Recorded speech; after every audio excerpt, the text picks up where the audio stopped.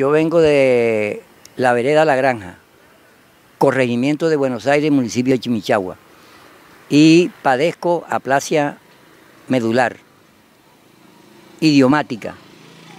Eh, la droga es primordial para mantenerme vivo. El señor Orlando Amariz Pineda, de 74 años de edad, quien a principios de este año hizo una denuncia pública frente a las cámaras de CNC Noticias Valledupar, manifestando que su EPS no le estaba proporcionando el medicamento ordenado y que por eso estaba presentando quebrantos de salud, falleció. Su familia reclama justicia. Primero que todo, contarle que mi papá Orlando Amariz Pineda falleció por culpa de Cajacopi porque me le negaron los medicamentos. Él venía sufriendo de una enfermedad que se llama anemia aplástica idiopática. Él era régimen contributivo. Eh, cuando tenían que autorizar los medicamentos, Cajacopi demoraba como 15 días para autorizarme el medicamento. Y como 10 días Logifarma para entregarme medicamentos. Ellos me decían que ese era un medicamento costoso y que por eso era que demoraba. Mi papá le faltaban los medicamentos y todo era venir acá a Cajacopi eh, luchando para que me le entregaran los medicamentos y siempre me decían, espere, espere, espere. Mi papá el día 22 de agosto vino a cita con el hematólogo. El 23 trajimos los documentos para que nos autorizaran eh, los medicamentos, un medicamento que se llama el trombopac. Y a mi papá el día 2 de septiembre en la mañana autorizaron solamente la cita que la tenía el 12 de septiembre con el hematólogo. Y, la, y no me autorizaron las trombopac. Y mi papá el 2 de septiembre falleció viernes por la noche porque no tenía los medicamentos. Recordemos que el señor Orlando estuvo exponiendo su caso precisamente a través de las cámaras de Cenocicia, donde decía eso, que eh, le estaban este, demorando la entrega de su medicamento y que posiblemente ese lo podría llevar a su muerte. Sí, así es, efectivamente. Cada vez que le tocaban entregarme los medicamentos duraban como 20 días para entregarme. Entonces mi papá cada día se me iba agotando y él me decía, mi hija, este, si no me dan esos medicamentos yo me voy a morir. Él me lo decía cada rato. ¿Cuándo fue la última vez que él tuvo control médico y qué le dijeron?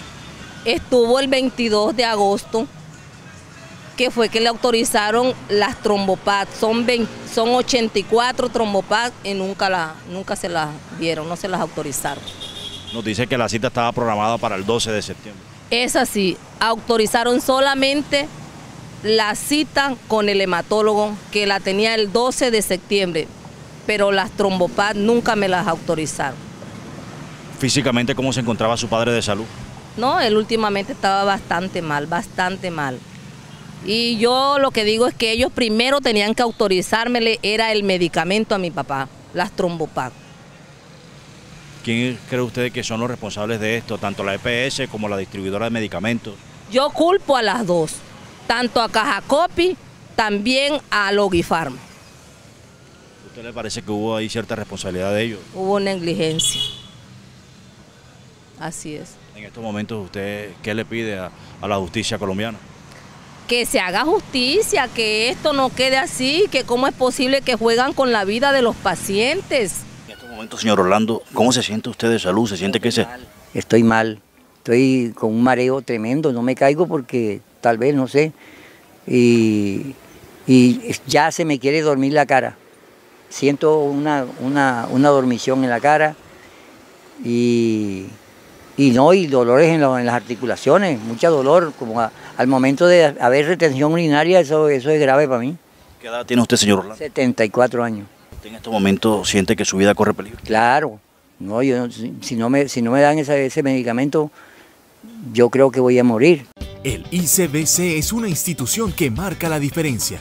Prestamos servicios como cardiología clínica, cardiología intervencionista, programa de cirugía cardiovascular, hemodinamia, electrofisiología e intervencionismo neurocardiovascular, vascular periférico, métodos diagnósticos destacando cardiología no invasiva, Además, contamos con el servicio de unidad de cuidados intensivos y hospitalización, un equipo humano comprometido en el cuidado y monitoreo de nuestros pacientes, brindando un servicio oportuno según la necesidad. Nuestro lema es Por el corazón del valle. Le ponemos el corazón para el bienestar de nuestros pacientes. Somos el Instituto Cardiovascular del Cesar.